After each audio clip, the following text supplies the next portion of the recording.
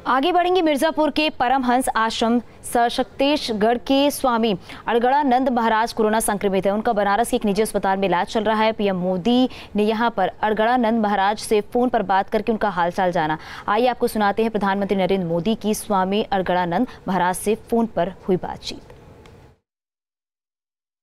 स्वामी जी प्रणाम। मोदी जी मोदी जी। शुभ आशीर्वाद बहुत बहुत अ, बहुत बहुत मुसीबत झेल रहे हैं आप। लेकिन बेफिक्र हो आपके आशीर्वाद है सब अच्छा ही होना है। आपका स्वास्थ्य कैसा है? आप हम, बताइए।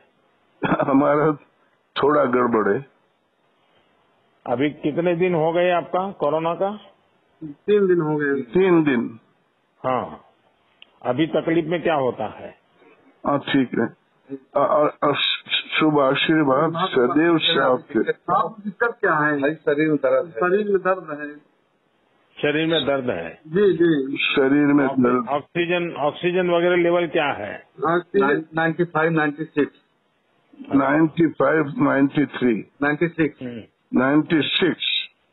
Hmm, hmm. देखिए अभी तो शुरुआत है ये थोड़े जब सात आठ नौ दस दिन जब होते हैं जरा तकलीफ़ ज़्यादा होती है। अच्छी तो बात। हाँ बिल्कुल आप संभालिए और मैं भी डॉक्टरों को बता के रखता हूँ।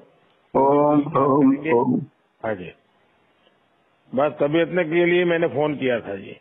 अच्छी बात। हाँ जी प्रणाम जी। ओम।